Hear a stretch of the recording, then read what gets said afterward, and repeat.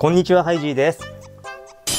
というわけで、もう年末中の年末の動画になりますね。えー、本当にもう年のせいでございますが、えー、このね、年末年始っていうのは、年が明ける前に福袋とかを出されるお店っていうのがやっぱ混雑を避けるためにたくさんありまして、ご多分に漏れず、吉野家さんも出しております。で、先日ね、すき家さんのこの福袋開封動画も撮ったんですけども、やはり箱入れ物が素敵でございまして、この中蓋に関しましては娘がね、えー DIY して壁になんかひっつけてボタンなんかもつけて ATM っぽいなんか機械にしたのかなであったりとか外箱に関しましてはランドセルにしていろんなもん入れて背負ってなんか部屋の中うろうろしたりとかしてるような、えー活躍を見せているんですけれども吉野家さんの福袋福箱の入れ物もとんでもなくテンションの上がるものとなっております。こちらでございます。てでーん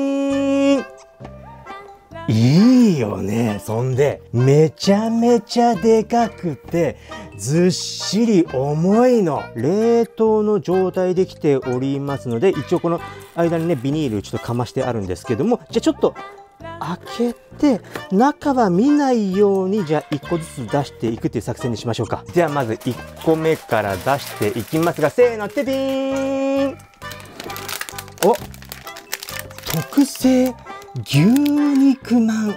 吉野家さんの肉まんだ。これ嬉しいのがあの蒸し器じゃなくても電子レンジでも作れます。も最近は結構全部そうか。ですけどもさっと作ってさっと食べられるやつが3個入りでやっぱ吉野家さんならではのタレも染み込んでるやつでしょう。こっちから出していきおっとおっとこれはこれは待ってこういうの。あ牛肉焼きそば吉野家と富士宮焼きそばのコラボの商品の焼きそばだった焼きそばの部分が富士宮焼きそばで上の部分が吉野家さんのやつかな。で紅生姜もあるもんね。これがなんと 180g&2 食入りっていう嬉しさもありますしまた僕にとって嬉しいのは湯煎だけじゃなくてレンジでいけますよと。やっぱりさあの楽もっちもちの麺に絡み合う牛肉と秘伝のタレ。やっぱりどこの人もタレを秘伝にしがちだよね。言い忘れましたけどもこれがね店頭じゃなくてネット通販で買えるものでございまして僕も5184円をコンビニで払って届いたものでございましてなので正直まだまだ入ってるかと思われます。さあ3個目いきましょう。せーのてでーんおっとこれ紅生姜だけ。の冷凍のやつでございまして生姜は料理の名脇役牛丼豚丼焼きそばチャーハン冷やし中華ちらし寿司など梅酢のまろやかな酸味と風味が料理を引き立てますといったものでございましてこれもね保存料合成着色料は使用しておりませんといった優れものでございます。もちろんまだあるよね。で牛丼は絶対入ってるはずだよね。このラインナップだとせーのてでーんと。あ豚丼の具。牛丼じゃなくて豚丼。これもレンジ加熱で作れる。本当にありがとう。豚丼でございまして。吉野家さんの豚丼は何が優れてるってねあのー減塩のニーズにね対応してるんですよ。25%くらいカットされているといった、えー触れ込みが確かあったと思いましてこう見ましても食塩相当量 1.4g って書いてありますからこれかなり嬉しいやつだね。なんかなんならもっとこれ入っててもらっていいくらい嬉しい。でこれが1234品目。4品目で牛丼が入ってるよね。さすがに。この感じで牛丼なかったらおかしいと思ってるんですけども。でで焼き鳥丼の具だ。焼き鳥丼も入ってた。あそうなの？1食分ね。レンジで作る作り方が書かれていない。さっきまではずっと書いてあった中で焼き鳥はレンジ不可なんですけども確か焼き鳥のやつも減塩なんですよ。あの豚丼以上にこれ確か30何パーセントとかあの食塩量カットでございます。とはいえ 1.8g 食塩ってなっておりますけれどもこれまでの焼き鳥と比べて30何パーセントカットっていう意味だと思うんですけれどもででーん来ました。ああれ？焼き鳥丼。あれ？焼き鳥丼はじゃあ2個なんだ。2個。あれ？牛丼が出てこない。あれ？まだ入ってる。まだ入ってる。まだ入ってる。てりーんあ豚丼も2個目。ワンペア。ババ抜きだったらこう中央に出せるやつ。あれ？豚丼と焼き鳥丼が2つずつってことは牛丼あてりーん絶そうだよね。牛丼がとうとう来ました。一番奥にあった。サンリオピューロランドにおけるキティちゃんの存在だね。だからね奥のキティ城の奥の奥にいるみたいな感じで牛丼やっと出てまいりました、えー、これは湯煎だけじゃなくてレンジでも作れるよといった優れものでございましてもうさっと作ってさっと食べれると。ご飯にのせてっていう感じでございます。ねまあもう本当にいつもの牛丼がさっと食べられるといったもんだと思います。でディーンそうだよね。牛丼も2個だよね。他のも2個なんだから。ということで今んとこ牛丼にえ豚丼に焼き鳥丼にそして紅生姜、えー、焼きそばで肉まんがありまして6種類で9品のものが入っておりましたがまだあんのよ。これマジで分かんなくない？最後1個入ってる感じです。こうやって触ったら。でもう出尽くしてる感じすんのよ。さあ最後の1個は何でしょうか？てでーんでででででーん。何これ？血圧高めの血圧を下げるストレス。一時的な精神的ストレスを軽減のギャバ牛。ギャバ牛丼の牛丼の上のやつだ。頭のやつだ。ギャバ入り牛丼のグッテコとか。このギャバ牛もやはりうまさしっかりで塩分25%カットといった、えー、ものでございます。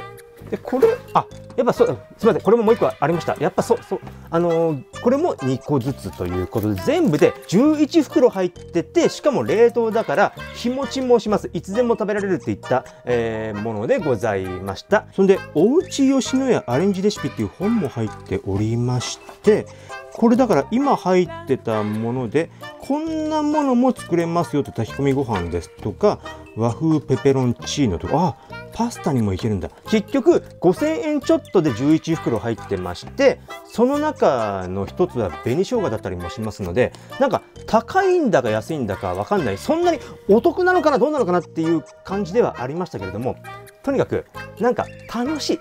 箱からして楽しいしいつでも冷凍庫の中に吉野家がいるいてくれるって思うとなんか心強いなって思わせてくれる福箱でございました。でも年末も年末ですから本当にね、えー、個人的にはもう今年買ってよかったものとかいう動画も出してみたいなとか思ってたりとかしたんですけども私実はね大晦日も吉本のライブが2本あったりして朝からもう劇場に入ってずっとなんかやったりしてますのでその作る時間がなかったりすると思うのでもう今もうこの動画の後半で今年買ってよかったものを紹介しますけども1個はねこれプロジェクター。これね良かった。この三脚の部分はもう自分で後からつけたやつなんですけどもこれをスマホでね Bluetooth でつないでスマホあなんか電源入っちゃった。スマホの画面をあすみません。あだこうやってね 映すの。でこれをね何がいいってこれさここうこうやってさ角度をいっぱい変えたりしながらさ天井に移して毎日夜中「進撃の巨人」見ながら寝てる。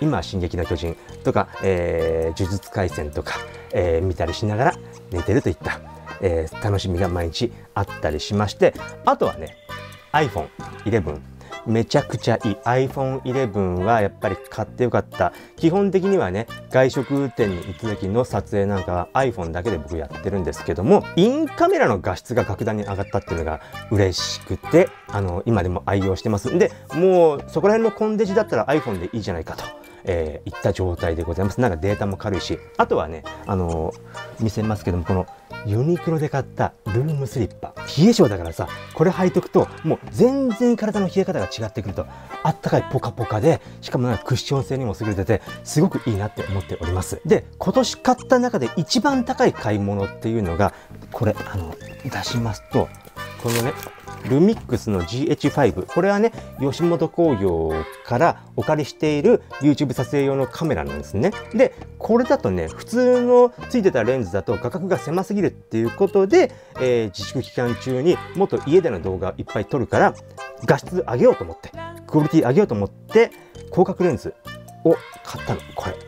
これがね10万円以上したの。このレンズだけで。っていうのを買ったのが多分今年一番高かった買い物だと思うんですけれども結局ね使ってない。今使ってるのが違うカメラ。もうもっと前に買ったソニーの AX60 っていうビデオカメラ。もうパパたちが子供の運動会とかに持って行ってガンガン取り回しがしやすいよっていうやつでございましてそれに広角レンズもうこれは1万ちょっとのやつをつけて撮っています。でなんでこれがダメかっていうとなんかやっぱりね性能が良すぎるんだかなんだか知んないんですけれどもちょっとしたさこのこっちから入ってくる光の変化とかでもガンガンガンガンねこっちがどんなにそうなんないように設定しても勝手に動画の色合いを変えてくれちゃったりとか意外とピント合わせが遅いと。あの背景ボケをね気持ちよくしてくれる分それが合うまでに時間がかかってまあいいシーンがブレブレだよっていう状態になったりとかむちゃくちゃ重いから外に持っていくっていうのはすごくね肩こるからできないしってなるとこの今使ってる AX60 がなんかいいなって思ってなっちゃってます。そんなわけでもしかしたらこの動画で今年最後になるかもしれない皆さんもたくさんいるかもしれませんので皆様本当にお世話になりました。今年も楽しく皆様のおかげで、えー、モチベーションを保って配信を、えー、できました。あと1個ねこれを買う人に対しての注意点なんですけれどもこれねなんか今出したものをもう一回しまい直したらね蓋が閉まんなくなる。結構内容量が多くて。で僕さ見ないで出したからさ最初の入り方どうだったか分かんないからさ、うん、もうもうもうなんかずっとカパカパしちゃうっていう問題も起きます。